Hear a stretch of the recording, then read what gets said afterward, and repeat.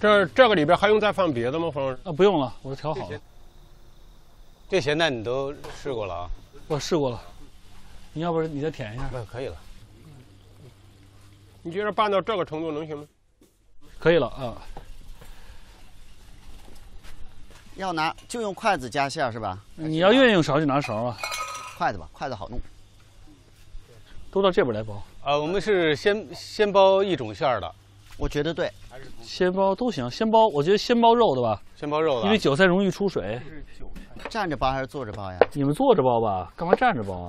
我是没法站着跟坐着擀。我我从小特别喜欢按这个。行，好了。坐着等皮儿。你是不会包的是吧？不会。啊，行，那你看着吧。学一下。这个这个掉那儿了。我我给大家拍照吧。行。你先来。行，没事，我等他擀一部分时候，我拿一部分来。妹妹，饺子包起来呀！妹妹会包饺子吗？不会呀。我怎么记得咱包过呀，妹妹？我怎么记得学过一次了？学过忘了。理理直气壮。可以再学一次。爹，搞得我都包不起来了。我来看您。这么多。嗯。先先在中间。嗯。一对，捏住了。嗯。然后。吧。捏个大概，捏成这样了，把它捏住了，封住了。嗯。嗯。封住了。其实包饺子一块包特快，一会儿就包完了。再啊。捏一下，这不就出来一个？嗯，试试吧。好。我来了。快来，来了，来了。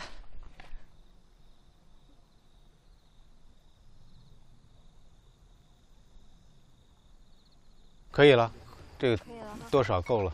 你看啊，这个弄个圆圈吧，然后在中间给它压一个点。我们每个人都有不同的包法，我是这么包的：压一个点，用它压实，然后呢这边再压一个点，把它压实，然后它不就多一块吗？这么一压，它就合拢了。